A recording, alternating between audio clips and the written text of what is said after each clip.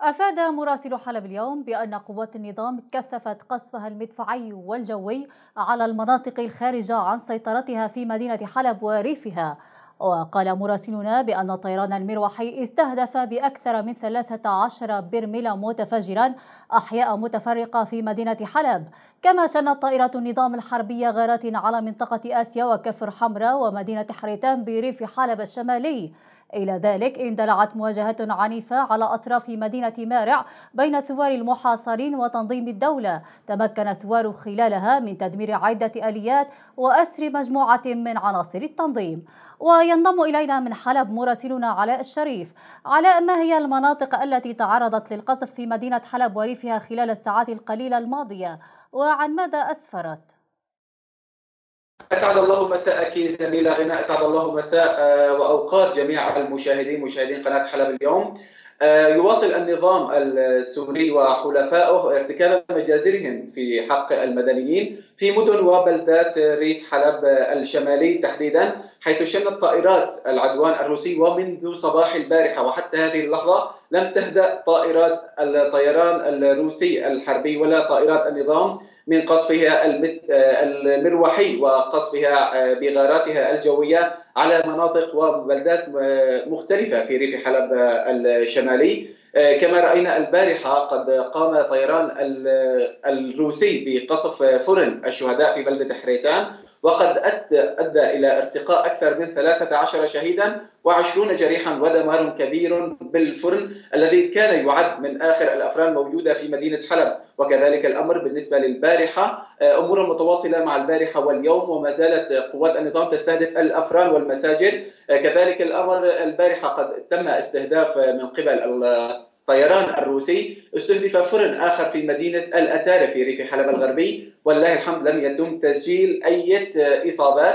وقبل قليل وقبل لحظات كما وردنا ثلاث غارات جوية على مدينة حيان استهدفت أيضا إحدى المساجد هناك. أكثر من 30 غارة جوية قد استهدفها الطيران الطيران المروحي سواء بالألغام البحرية أو بالبراميل المتفجرة. استهدف من خلالها عدة بلدات وقرى في أحياء في وقرى على بلدات ريف حلب الشمالي حيان وحرتان وكافة المناطق المحيطة المحيطة بها. نعم. وكما أما في الداخل الحلبي فقد قام طيران النظام السوري والطيران الروسي ومنذ الصباح الباكر باستهداف عدة أحياء مختلفة من مدينة حلب حيث تم إسقاط وثلاثة براميل متفجرة على حي الهلو وثلاثة أخرى على حي بعيدين وأحدها على حي الصاخور واثنين على أحياء مساكن هنانو والله الحمد لم تسجل أي أضرار بشرية باستثناء تم القصف بالبراميل المتفجرة على حي الحيدرية. مما أدى إلى سقوط البرميل المتفجر على أحد بيوت القاطنين هناك. وقد أدى إلى استشهاد امرأة وإصابة طفلة وقد ونشوب حريق وقد قامت فرق الدفاع المدني بإخماد الحريق وإسعاف المصابين. نعم، علاء كيف تبدو الأوضاع الميدانية والإنسانية في مدينة مارع؟